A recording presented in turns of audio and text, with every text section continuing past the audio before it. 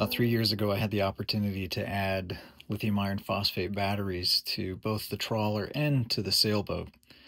And so at the time, I added two Lion Energy Safari UT 1300 batteries to each boat and subsequently added one more so for a three a total of 315 amp hours uh, been very happy with that setup but at the time uh, these batteries were by all manufacturers sort of advertised as drop-in batteries and that's not entirely true because these batteries are always part of a system. And so I thought it would be cool to design a system illustrating all of the key parts, the critical parts for a safe installation of a quote unquote drop in lithium iron phosphate battery. And so that's what I've got here. Um, at the heart of it is the Lion Energy 105 amp hour lithium iron phosphate battery. There is a 45 amp charger that is specifically for lithium chemistry. Um, and about the critical part here is the voltage cutoff during the bulk phase. And then the fact that as soon as the battery reaches full charge, the charger shuts off and stops charging.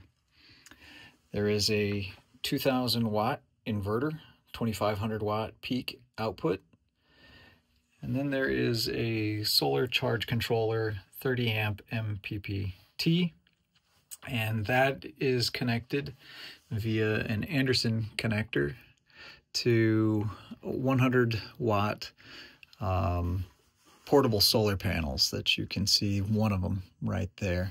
You can wire up to four of them for 400 watts um, in parallel.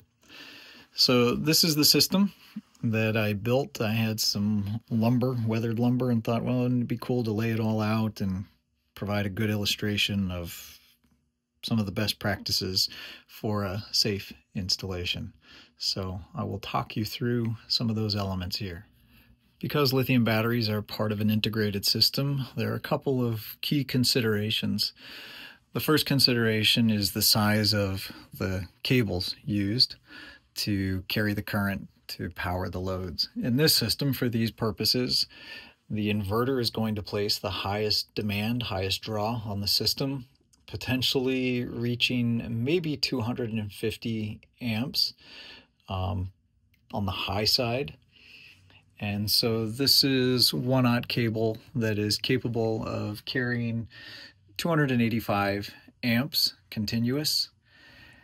Um, and that is connected to a class T fuse. So from the battery to the class T fuse. So should there be a short, this fuse will blow, preventing any more current flowing from the battery and potentially causing damage or a fire. So from that class T fuse to a selector switch. And again, this is an important consideration. The selector switch needs to be sized appropriately. Don't know if you'll be able to see it, but this selector switch has a 300 amp continuous rating. So that exceeds the amperage of that might be placed on the system. From that switch to the positive bus bar, from the positive bus bar to an ANL fuse that then supplies power to the inverter. And the same thing happens on the negative side. One aught cable coming off of the battery to a Victron shunt, um, which I'll explain in a minute. And then one aught cable to the negative bus. From there, the heavy cable uh, for the inverter supplying the negative side. So size of the cabling matters. Needs to be adequate with even a little bit of a safety margin for the loads you intend to pass through the wire to carry the current you plan to carry. Appropriate fuse protection in the form of a Class T fuse.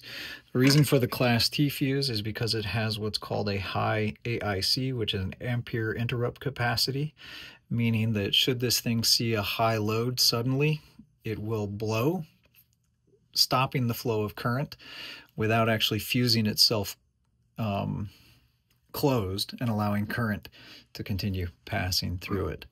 So class T fuses are generally the fuse to use for lithium battery installations. And then on the inverter end of it, an ANL fuse is typically um, used for there. And you can see that one has a 200 amp rating. Although this is obviously a land-based application here, should be noted that it does meet the requirements and recommendations for a marine installation in many cases. I mentioned that we have Lion Energy batteries on both our sailboat and the trawler, and in both cases, those do meet ABYC recommendations and standards. ABYC is the American Boat and Yacht Council, and they set the guidelines for new boat construction and recommendations for safe installations aboard. In addition to proper fuse protection, terminations, and cables, and so on, um, ABYC has a few other recommendations and requirements which are met by Lion Energy and their batteries.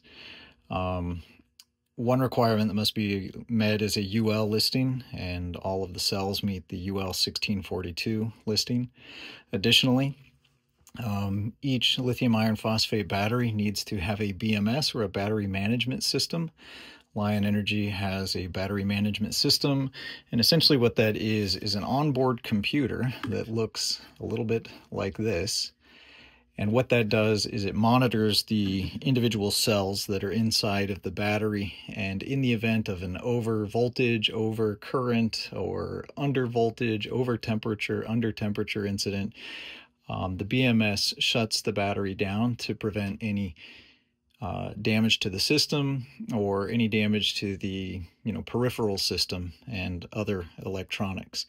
So the onboard BMS meets that ABYC recommendation.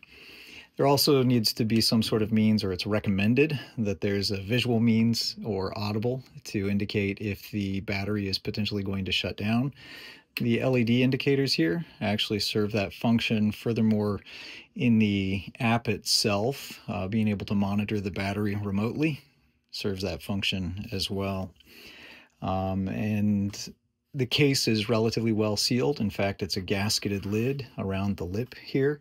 So though it's not waterproof, it is certainly sort of splash proof. Um, but I uh, keep mine mounted in a dry location and even in a box uh, on the sailboat just as an extra measure. The batteries only weigh 23 pounds, so the cool thing is on the sailboat I had 440 amp hours of lead acid batteries that weighed nearly 300 pounds. I ditched them, added two initially of the Lion Energy batteries, total of 46 pounds, and the same usable capacity. Um, so the energy density in these batteries is absolutely fantastic. The lightweight, it's a group 4, uh, group 24 size, so these batteries are very compact. The batteries can be wired in series or parallel up to four in parallel connection. So you could have over 400 amp hours uh, in a relatively small, lightweight package. Backed by an American company out of Utah and offering a limited lifetime warranty, there is significant peace of mind in the Lion Energy batteries and their product line. The battery charger is another critical part. This is a 120 volt shoreside charger. So when you are connected to the grid, you can charge the lithium battery via this charger. Um, like all installations, the battery charger really should be fused, which this one, there is a fuse there. And so from the battery charger, current goes to the fuse, and then from the fuse, it goes to the positive post of the battery here for charging purposes. The negative is again wired into the negative bus. For off-grid charging, when no shoreside power is available, Lion supplies this 30 amp MPPT solar charge controller. So this end here is wired to the battery, again with appropriate fuse protection. And then this end here gets connected to the solar panel actually through this Anderson connector. Um, and you can wire up to four of these panels together for a total of 400 watts output. And we've used this camping in on the boat, and uh, in the right weather, I have seen with just two panels, um, 8 to 10 amps going into the battery. So pretty impressive. And the panels uh, fold up and are easy to carry.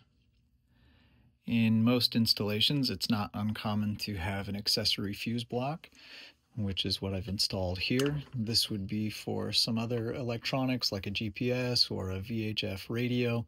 All of those can get wired into here, and then they would have their appropriate fuse protection to ensure that those more sensitive devices have adequate fuse protection. Power is taken off of the negative bus and the positive bus here at the top and down at the bottom to power it. Again, the uh, cable supplying the fuse block is sized appropriately so that um, it could supply this any item on here at full load, the sum of all of those things together.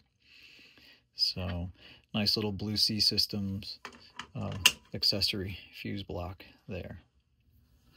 Lion does have their own proprietary app for Bluetooth on their newer batteries so that you can monitor the state of charge, how much current is going out, how much current is going in, uh, battery voltage, and the battery temperature. I went ahead and installed this Victron shunt because I like Victron equipment and it works well with a lot of other Victron equipment, including like a Cerbo GX and some other things. Um, so that's what you're seeing here is Victron shunt connected to the iPad via Bluetooth.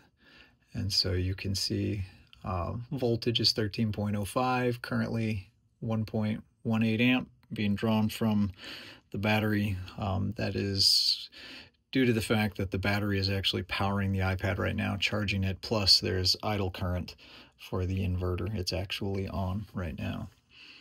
Um, and you can see that the battery I'm hooked up to here has been discharged 64 amp hours and uh, is sitting at about 31%. Lion's app, I can show you that here, I think.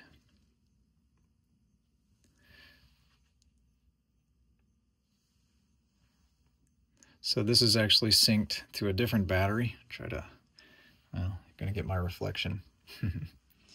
um, this is synced to their Bluetooth battery, which is right over here. And um, that has the onboard Bluetooth. Like all Lion batteries, it also has a status indicator indicating state of charge, but via Bluetooth, you can check it on your phone, on your iPad, remotely without having to physically uh, touch the battery or be near it. So, a handy app, very cool. Um, some nice features that are part of that Lion Safari app. In most installations, you'll also have uh, an electrical distribution panel. So I have added one here on the side of my bench. So this powers any additional loads that uh, you might want to add. What I have done here, which is on this breaker down here, on the other side of the bench, I added a typical Blue Sea Systems USB outlet for charging cell phones, iPads, those kinds of things. So it's both switched here, you can see the light illuminated, and it's also switched at the panel on the other side. Um, and the breaker on the panel over here would act as not just a switch, but a, if there were an overcurrent situation, it would trip that breaker, providing protection. So, very slick setup pleased with their equipment. Um, largely sort of for the RV overland market, kind of off grid cabin in the woods sort of thing. Um, to my knowledge, I think I'm one of the only people to use their, one of the few people or only people I'm aware of to use their batteries on the boat. Um, I have opened up the 1300, so has a prominent figure on YouTube who knows a lot about lithium technology and solar panels and so on.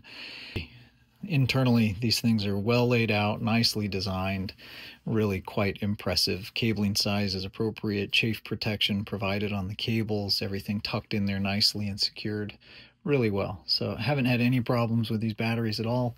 Three years later, they're still producing full capacity. All in all, really a super slick setup.